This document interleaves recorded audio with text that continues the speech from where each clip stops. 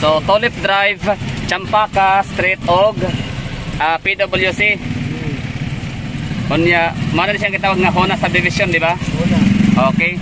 So for today's video, no, bali i-vlog po natin ang Hona subdivision.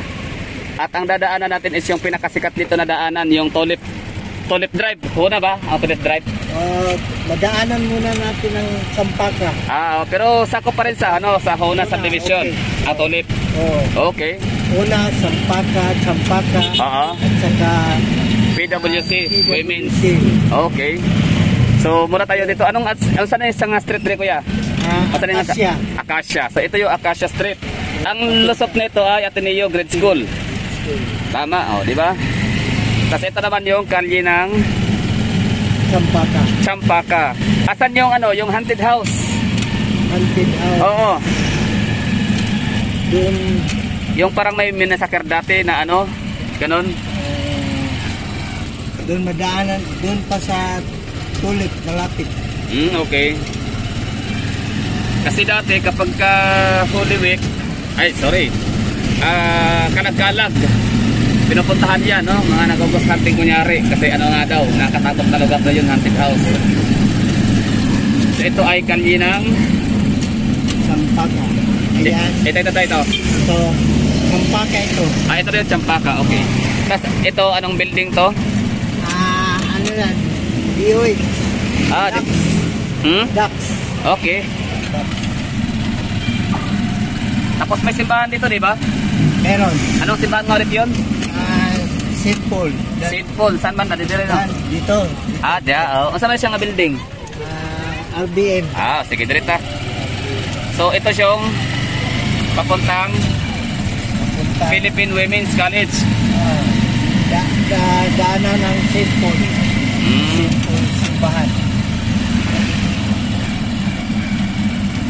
So, anong ano yan? Establishment? Ah, yan yan, hotel. Ah, hotel.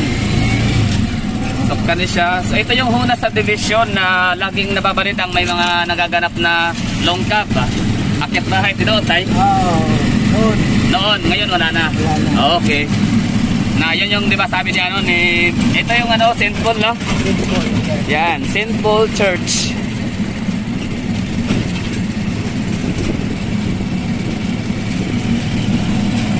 Tapos ito yung Philippine Women's College. Oh, yan.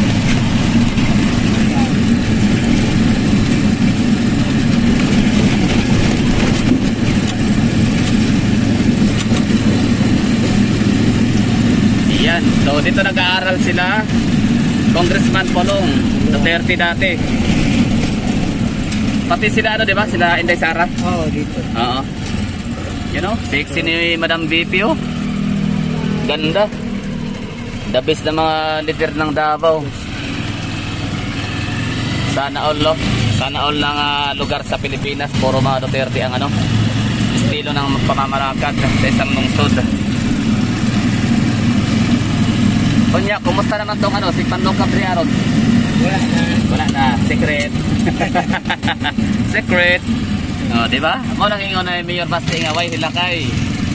Ah. So University Avenue pala yung dinaanan natin sa may Champaka. Tapos yun. Asa man yung diretso? Ah, diretso tao, tulip. Tulip Drive. ah.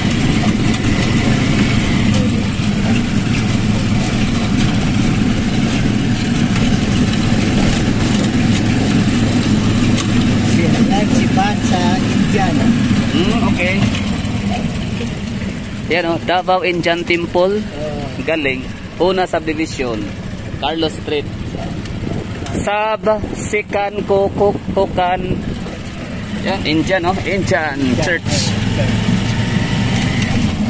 Huna subdivision. Eh, kaya kaya naman pala itong Huna subdivision, hindi siya kasi ano no, hindi siya exclusive no. Oo, pwede papasok dito kahit sino kung gugustuhin. Kaya may mga naitalang mga kaso ng ano, akyat bahay. Kaso nga lang, wala na, tahimik na rin sila. Igaran talaga na yun, consequences no. Pwede kang ah, mag-succeed sa iyong mga planong uh, pagnanakaw dito sa Davao, isa, dalawang beses. So kanina saan siyang ano, dalan, Durian Street. Dorian Street.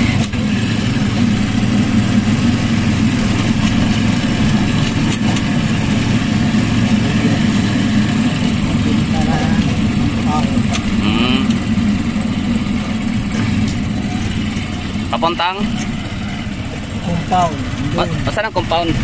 Ah, na kailan. Ah, okay, compound. Pag ulagin na napatungo. Diri ah, dito. Ah, sa tulip. Okay.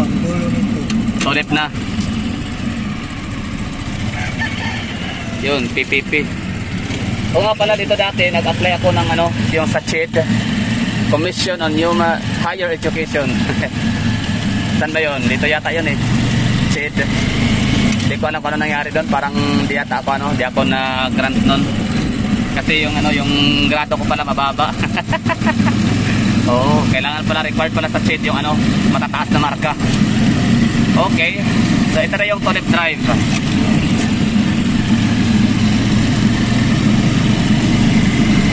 Yan no. So shout out sa mga nagre-request dyan tungkol sa Tulip Drive. Ito na yon, na compound. Yan, so dami mga pagkain na no. So yun no, bali dadaan na lang natin dito. Tsaka na tayo kakain dyan kung kilan, kung tamang oras no. May tamang panahon dyan. So ito na yung Tulip Drive. Ang dulo nito ay MacArthur Highway. MacArthur unsang establishment katong ano, Cocos Cocos Restaurant or yung ano, yung Water District. Ah, sa kabila. Ah, kabila, okay. So ito yun, oh. Sa Tulip Drive yun, oh, marami mga ano, mga cafe, Julieta, mga ganyan, mga steak. Tara, dito o natay. So ang ganda pala ng ano, Tulip Drive talaga. Minsan napapadaan tayo dito. Tapos yun nga, ah, sabi ng mga kasama natin na social nga tong lugar nitong Tulip Drive kasi ang dami mga mga ano, pang high-end na mga restaurants. Yan Villa 20. Ayan. Villa Abrili. Villa Verde. Ayan oh. Fuente de Villa Abrili. Dati meron akong mga nakitang ano ba, mga nakasulat sa kanang padergod na mga Villa Abrili Land Grabber. Tayo, unsa na tayo? Unsa pa sa bata na? Land Grabber daw ang mga Villa Abrili. Kanang ginapang sulat ko sa ano, kanang mga kuan, karatula. Dagan sila. Dagan sila luna. Ah, okay. Kaya pala no pinag ano, pinagbintangan silang Land Grabber no. Villa Abrili, Land Grabber. Yuta. Hmm. Yan. Kaya halos tanan squatter ilahan no. Oh, kanindot pala gay daw. Sa sulod. Pwede ta mo sa hay no. Leonardo. Ah, bawal ta dra. Explosive siya no, naigwardya no. Mm. So dili siya accessible sa mga ordinary people like me. Not unless kung natin kaila sa sulod natin uh, transaction no. Meron itong patok sa manok sa Tulip Drive. So compound pala, kilala sikat no. Sa... Naka na kadi atay, compound drive. Wala pa. Okay, marag pandato na ano.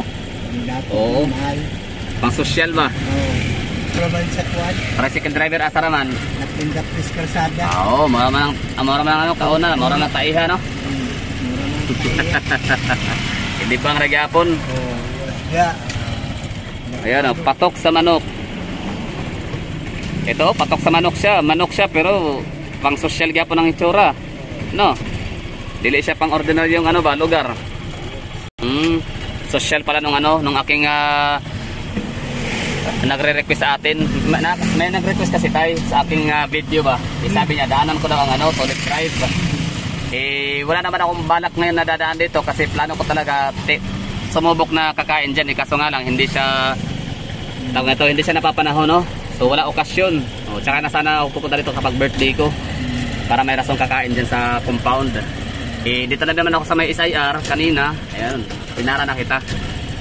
Oo, tapos malapit lang pala. Akala ko malayo yung Tulip Drive. Ah, magkarikit lang pala. Una subdivision. Champaka.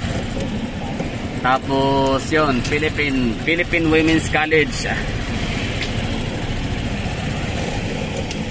Ang mga nakainan ko dito sa Davao na talagang masasabing social ha, is yun nga, Cocos. Cocos Restaurant sa may Torres. Sarap ng kanang steak. Kaso nga lang, mahal. Tapos yung Kaisin sa may F Torres ulit, no, sa may Fairlands. Yan. So sa mga naghahanap ng mga international cuisine, no? O uh, imported na mga pagkain. So meron tayong uh, Kaisin sa may uh, Japanese foods sa may F Torres Corner, JP Laurel. Tapos dati dito sa may Buffet Palace, Nakain na rin tayo dyan. Pero ang tagal na nun, no? 2007, 2006, 2005. 2007 pala, sorry. 2006 yun. Yun yung mga taon na yun. Tapos Kuya Ed, no? Kuya Ed dati naalala ko, 99 pesos lang yan sa may harap ng Grand Mensing sa Magallanes. Pero ngayon wala na. Tita Dis, 99. Glorieta, 99. Yung mga Itolyokan. Grabe ang mura ng Itolyokan sa Davao dati. Ngayon, ano na, Vikings, 799. So, sa man siyang ano dala tayo, dalat, tayo BGC. Ay, ko na, Global Town. Ah, Google Town. Okay. Pwede tama ka na, Draron. Pwede. Makasalot sa salot. At ito pa ka dito? Ah, ato sa ano, at, oh, liboton dito. Oo. Yun no.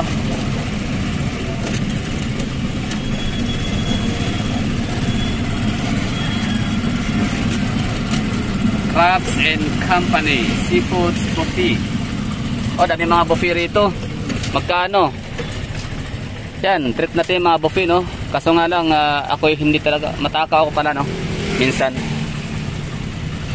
Yan, bagay sa akin ang buffet ngayon kasi hindi na ako masyadong palakain ng kanin. Yun, tapos yung ano pala, Jack's Ridge, no?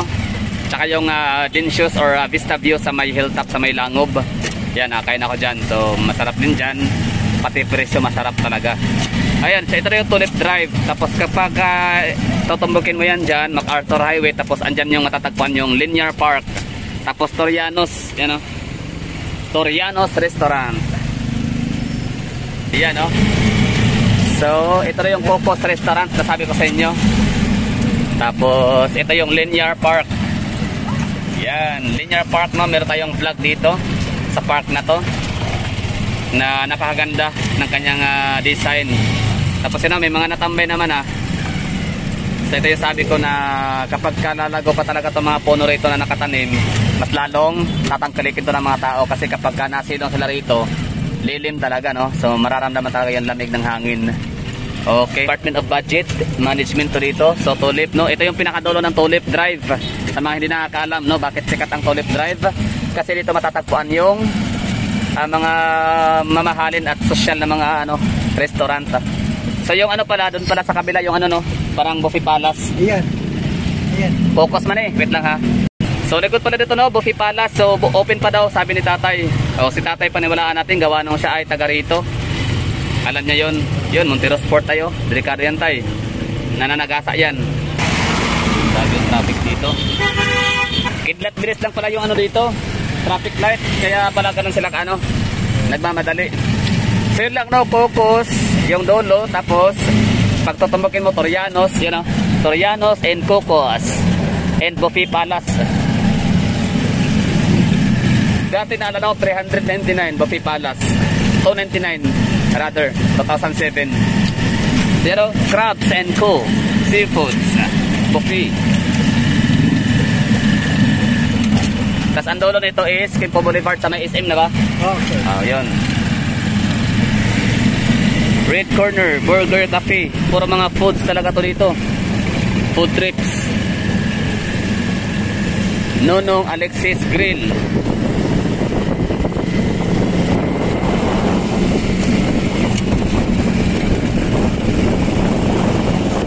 Villa Abrilie, Fuente.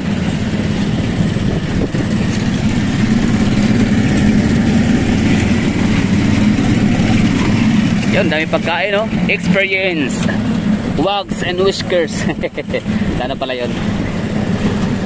Yun, no? Cafe. Ate Smith Products. So, dito pala matatagpuan ang mga restaurant ng mga sosyal.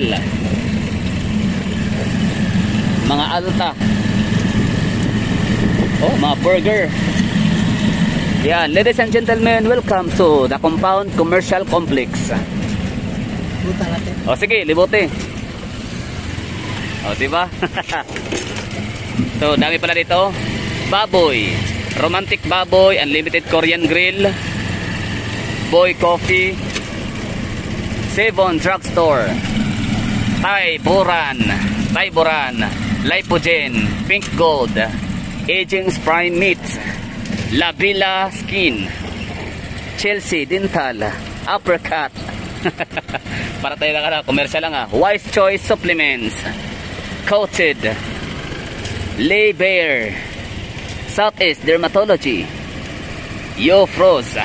Hansen. Di ba? Ang galing lang. Dami pagkain dito. Hindi naman pala lahat. May mga ditla clinic pala, no? Tubalan Cove. Art and Home. Chubi Chubi. Hingaw Hingaw Kaon. Okay. Tapos Tolip Drive, Davao City. Momos. Tolip Variety Store. Tapos dire-diretso nito is SM na. Quimpo Boulevard.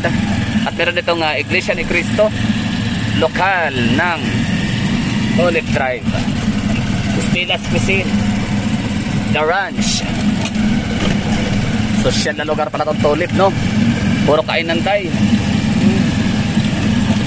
Ito, ano to tay? Mo mo ni ano? Davao Town? Oh. Ano Mm. Mga contractor.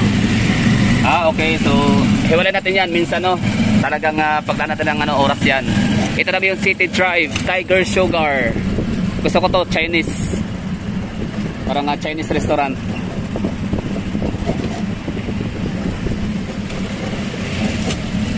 Papiliin ako Chinese restaurant, Japanese and Korean. I'll go for Chinese.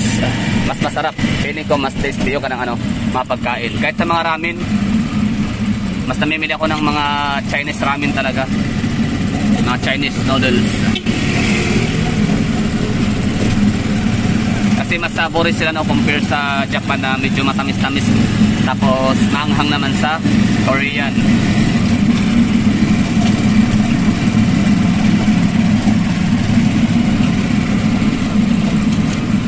So, Squad, ah. Kimpo Boulevard. okay. So ito lang yung ano, Tulip Drive. ah. Maliit lang pala no? Tapos, ano na yan? Sa SM. Dito lang Mm. tayo. Okay. Yun, tapos meron dyan, Re- Rams, Lechon Manok or Lechon House. Masarap din yan. Pero lagi kami nakain dyan sa, anong isa yun? May isa pa dyan na parang bakulod, no? Tama, bakulod, yun. Ayun, doon kami nakain na 100 pesos per 100 grams yung tuna. Tsaka masarap din yung kanilang inasal, chicken inasal. Yun lang, no? So, ano na tayo? Joyride lang tayo kay tatay. Pangalan mo tayo? Giselle. si Tatay Gisael Rotang Hona Subdivision yan lang no road trip tayo joyride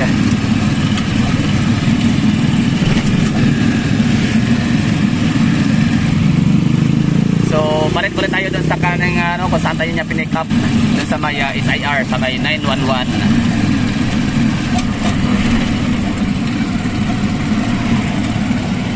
Hungary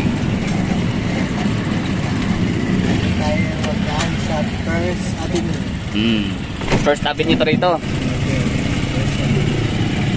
Basta itong Hona subdivision, yun lang yung alam ko talaga dati. Ito Tulip Drive, no? Bali, nagsi-shortcut kami dito, papuntang SM. Tapos, Daanan by Patuan. ah, ito, bahay ng Patuan.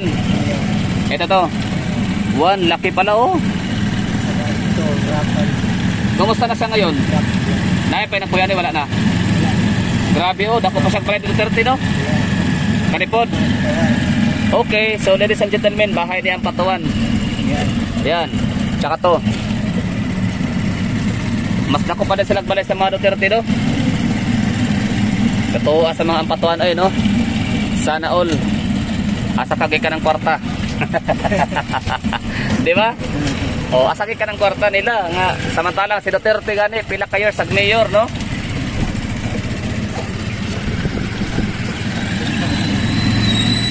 Grabe nga palasyo to ah. Maramag palasyo yun, no? Hindi man to balay. Palasyo naman to. Pagyan palang daan. Ano. Oo, oh, ilang kayo, no? Kapater pa lang, ano? Kapater pa lang, bayan yung mga tao, ano? Naagay something, no? Bitaw, nga nung imo, ano ilang mga pader, oh, di ba? O, mga dato man na, oh, di ba? Pero klaro, ilang balay, oh. O, mga dato man na, oh. Pero ang ano, ilang balay, dili man para, ilang gate para kay, ano, ang patuan, di ba? Nga, marabag ka ng naikalaban permit, di ba, no? Ilang gate? Hmm. O, mga dato man na, oh. Mga karaang dato sa Davao, di ba? Mga old money. Ayun, lapit na pala. Dito tayo kanina. Yun, merong police station dito. Police checkpoint. Ah, Buti naman, no? Para talaga maiwasan yung mga hindi magandang mga pangyayari. Mga karnap, lungkab, akyat bahay. Tayo. Oh, sige. Grabe yung bahay ng highway. Ah, ito yung Women's Highway. Okay, tama. Tapos dyan kami kumakain, no? Sa may ah, Bacolod, tama? This Ayun. chicken. Yan kayo. Pagkain. Oo. Chicken. Sarap niyan. So, okay na kami dyan. Kilala na kami ng ano dyan, mga servidora. Tapos nagbibigay kasi kami ng tip na 20. 10 piso. Pero at least nagbigay, di ba, no? Least, Oo. Isa sa iba, wala. Tapos lakas pa mga utos, no? Malakas mga utos, tubig please, ah, di ba? Tapos wala malang tip. Ito pansin ko sa Davao ha, hindi masyadong uso ang tip dito. Kasi yung mga kasamahan ko dito na mga mga kaibigan natin mga medyo may kaya naman, talagang ano, hindi sila sanay magbigay ng tip. Ako yung talagang uh, nagsasuggest. Sabi ko, hoy, 50 pesos yan, hoy. Parang ganon. Ako yung nagano ba? Kaya ko, Manila. Manila naman, gusto ang ano dito, tip. Oo. Dere sa Davao kay mohatag ang tip nga 10 pesos, ah, lipay na kayo mga ano mga server. Ya ako matao ba nagoy mga agon, mga trabaho, magapok mas pinto ba. Di, wala ka ba daw sa tip? Ako pa yung mga eh. Ayun ako ah. Eh, may 15 ana, 16 sukli ba. Ayun ako ay. Ana. Oo, di kasi uso ang tip dito sa Davao. Unsa man nga ano building? Biosite. Ha? Biosite. Hmm. Biosite. Okay. Dagan, dagan office. Okay. Dagan mag-office. You know, Verdon Park. Ganda ng Verdon Park. Tapos asa naman yung paingon tayo? FDA. FDA pa yan. Ah, FDA. Okay. Food and drugs. Yan ka na asa naman na paingon? Lusot. Kimpo Boulevard, no? Boulevard. Ah, so- Kita dito sa mga sakyan. Hmm.